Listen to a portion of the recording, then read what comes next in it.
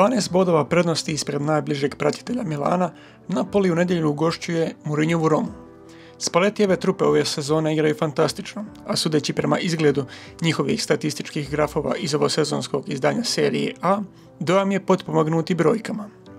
Možda ni u jednoj kategoriji nisu na samom vrhu, među klubovima u ligama petice, ali u svim važnim segmentima su prilično blizu učinka onih najboljih oko ili lošiji od prosjeka na ovom napadačkom grafu nalaze se samo prema količini izgubljenih lopti, dugim loptama i uspješnim driblinzima, dok je sve ostalo na vrlo visokoj razini, a slična situacija i u defenzivi. Primili su tek 14 golova u 19 utakmica, što je peti najbolji rezultat u ligama petice, a koliko je njihova obrana efikasna pokazuje količina udaraca koji dopuštaju unutar svog okvira gola, gdje samo Barcelona i Manchester City imaju manje od njih. Takva odlična igra oba smjera donijela im je ogromnu prednost nad rivalima u domaćem prvenstvu, ali svu tu silnu količinu bodova malo tko može pratiti i na europskoj razini. U ovom trenutku Napoli je na 16 pobjeda, dva remija i jednom porazu, što im daje 50 osvojenih bodova. A to za sad u stopu prati samo Arsenal, koji ima identičan učinak uz nešto slabiju gol razliku. Taj ligaški poraz došao im je u gostima na San Siro protiv Intera, a u cijeloj sezoni su upisali još samo jedan, prilično nebitan poraz. Ona je od Liverpoola u posljednjoj utakmici grupne faze Lige prvaka, u trenutku kad su na svom kontu imali 15 bodova uz 20 postignutih i tek 4 primljena pogotka. Jedan od velikih razloga zašto se Napoli, prilično suprotno očekivanjima na početku sezone, vinu u visine je i gruzijski reprezentativac Kviča Kvaratskhelija. Ukupno ove sezone na 9 golova i 12 asistencija u 20 odigranih utakmica, ali utjecaj koji ima u završnici je još jači od toga. Od 71 ofenzivca s barem 630 odigranih minuta u seriji A, samo Politano i Berardi imaju više dodira s loptom u zadnjoj trećini terena, a nitko nije pokušao više driblinga na 90 minuta od viždjastog grozica.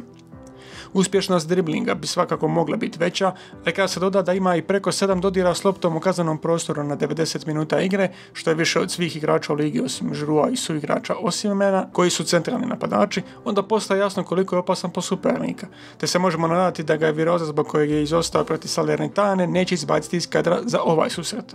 Jer s druge strane terena će se nalaziti Roma, ekipa koja suparnicima dopušta tek nešto malo više udaraca unutar svojih vrata nego Napoli. Naravno, pozitivno se to odrazilo na njihove primljene golove, kojih je tek za dva više nego što su primili njihovi današnji suparnici. Ali koliko je to iznenađujuće za jednu u ekipu. Doduše, s druge strane, nije pretjerano iznenađujuće da je napadačka strana ovog grafa nešto siromašnija od onoga što primjerice ima Napoli. Iako svakako treba naglasiti kako su prema modelu očekivanih golova kreirali prilike za 33 pogotka, a na kraju su ih zabili 25. No u obrani je priča o očekivanim golovima jednako izražena post shot expected goals je napredna statistika koja nam otkriva kolika je vjerojatnost da će prosječan vratar obraniti neki udarac. Odnosno uzimaju se udarci unutar okvira gola i na osnovu njih se generira brojka očekivanih golova, a Roma je tu gotovo na samom vrhu Europe. Ispred njih je samo Barcelona, a iza njih prilično daleko udaljen ostatak vodećih ekipa. Vidjeli smo da generalno dopuštaju malo udaraca prema svojim vratima, a sada vidimo da to nisu ni posebno izražene prilike. No koliko kod kvalitetna Morinjava ekipa bila u zadržavanju supernika, svoju razinu bi trebao očito podići i njihov čuvar mreže, Rui Patricio. Na suprotnoj strani terena puno toga u igri Rome ovisi o učinku pridošlice iz Juventusa. Paolo Dybala je u svim natjecanjima ove sezone za Romu zabio 10 golova te upisao 5 asistencija, a dobar dio toga došao je upravo u domaćem prvenstvu, u kojem je generirao ovu statistiku. Igrajući iza Temi Abrahama pokazao se kao neman za suparnička vrata i u golgetarskom i u kreatorskom smislu. Nema generalne razgravačke brojke na visokoj razini budući da ni Roma ne kreira puno volumenski. Tek su 67. po dodavanjima u završnu trećinu, a 60. u kazneni prostor, dok su na 50. mjestu po količini akcija koje vode do gol prilika. Kolektivno su i na 62. mjestu po uspješnim driblinzima, pa jako puno toga ostaje na Dibali da sam iskreira. Kako je Mourinho to zamislio i kakve su Romine šanse da im to uspije protiv Napolija, u taktičkom dijelu će nam objasniti Miho. Istina je da se glavni konkurenti za naslov u seriji A muče. Niti je Inter na razini koji je bio prije nekoliko godina, niti je Milan na razini na kojoj je bio prošle godine, a vidjeli smo svi što se dogodilo s Juventusom. Međutim, ono što Napoli radi ove godine je impresivno.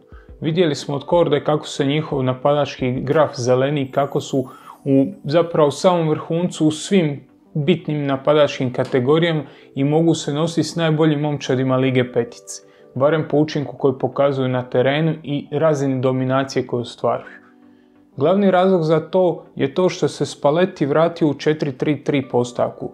E, dosta toga je vratio na početne postavke koje su vrijedile zadnji put kad je e, Napoli bio stvarno impresivan. Onaj put kad se zajedno sa Sarijem borio protiv e, Juventusa i zapravo prešao granicu od 90 bodova i najozbiljnije izazvao Juventus u vrijeme njegove dominacije. Šta to znači u praksi? To znači da se igra zasniva na ovoj trojici, odnosno na ovoj dvojici. E, Zjelinski i Lobotka dosta kombiniraju, dosta je naglasak igre tu na njima dvojici na lijevoj strani terena. E, kad, kad Napoli izlazi iz obrane, izlazi preko njih dvojice, to omogućava Mariju Ruju da dolazi visoko, da se priključuje napadu, a onda dolazimo do pojma Kvaradona. Dolazimo do igrača koji je toliko zaludio Napoli ove godine, koji je toliko dominantan da ga uspoređuju s Maradonom.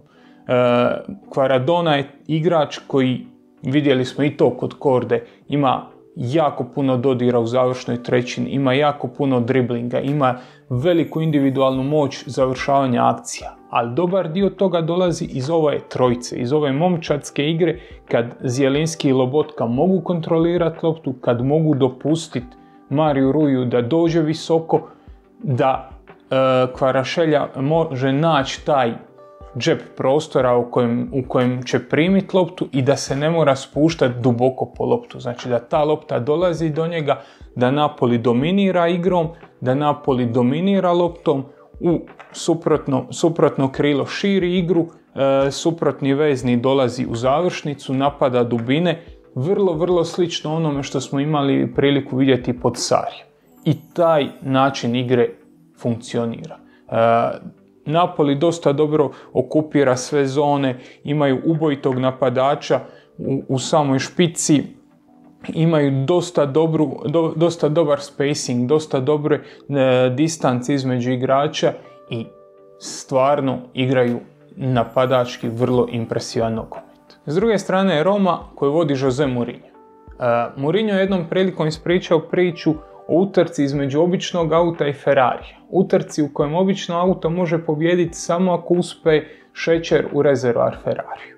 E, u sukobu Rome i Napolija, Roma je dobra momčad. Roma je momčad koja ima talenta, Roma je momčad koja, koja jako dobro izgleda i koja ima jedan potencijal za napraviti još dodatan iskorak u serija. Međutim, Napoli je Ferrari. Napoli koja izgleda jako dobro, momčad koja izgleda svemirski.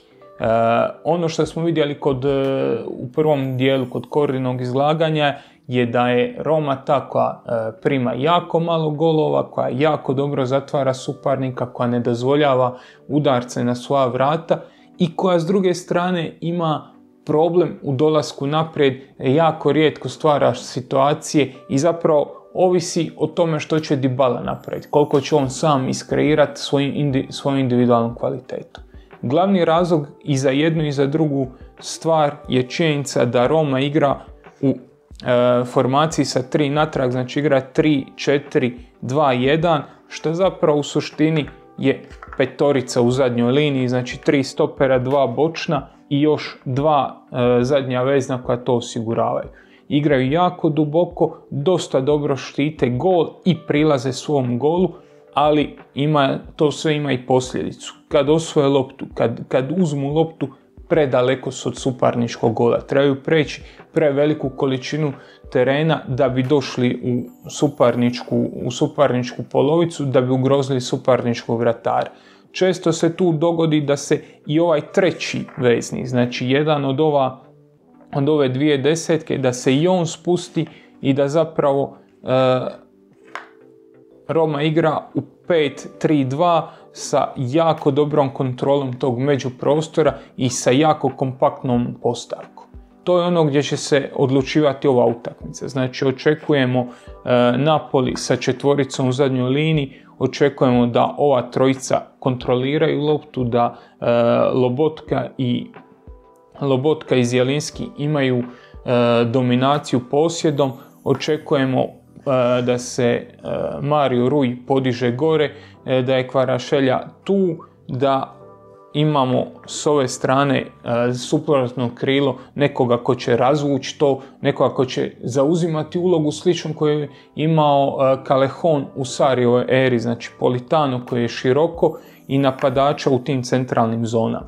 I očekujemo da će Napoli biti dosta visoko postavljen i da će napadati na, na suparničkoj polovici i da će aktivno traži gol. E, zona koju trebamo gledati u to situacije je ovo tu. Znači zona e, koju koju Napoli najviše voli napadat, zona kad donesu loptu do Kvarašelje koji tu pokušava driblingom, koji pokušava proći, ubaciti loptu za Osmihenada koji napada dubinu, koji je tu prisutnost u kaznenom prostoru, ali i zonu koju Roma jako dobro brani. Tu su kompaktni, jako su kvalitetni u zatvaranju tih prostora, ne dozvoljavaju da ih se izbacuje driblingom, ne dozvoljavaju da se dolazi u ovu zonu od 20 metara odakle se može šutirati prema njihovom golu i to je ona Mourinhova masterclass, to je njegova obrana, to je njegova kompaktnost, čuvanje gola.